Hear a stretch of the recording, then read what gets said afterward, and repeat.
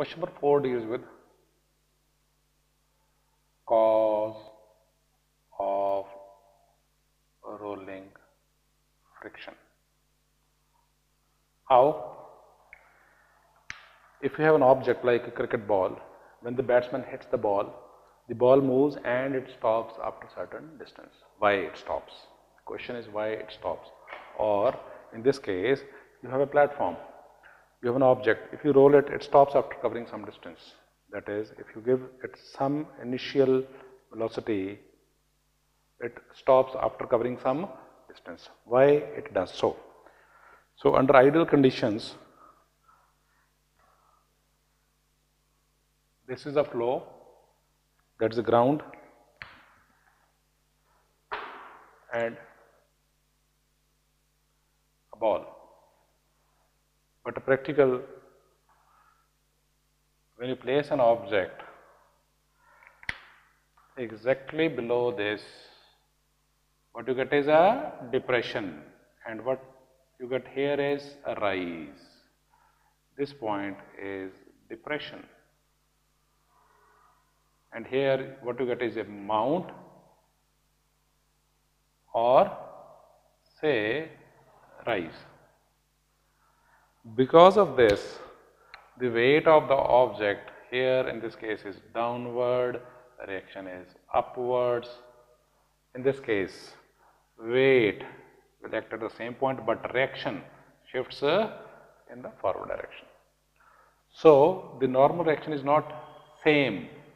Normal reaction shifts from this uh, original line. That is why there is a sort of torque acting which is acting opposite to what? The ball is moving in which direction? Yes, the ball is moving to the right. That means what? The ball is moving in a clockwise direction. And this will cause what? Anti-clockwise effect. So that is why the ball stops after covering some distance. So what is the cause of rolling friction? Depression and mount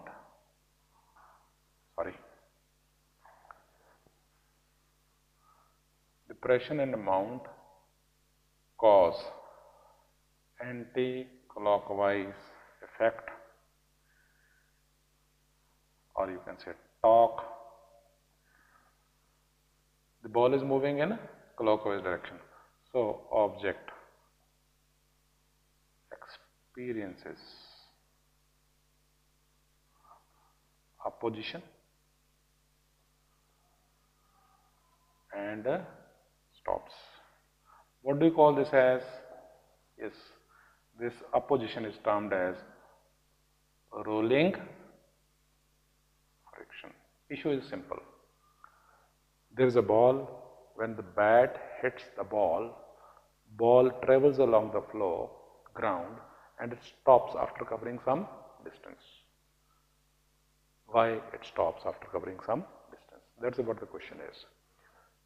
So, there is a, when, when you place a ball, there is a depression and there is a mount.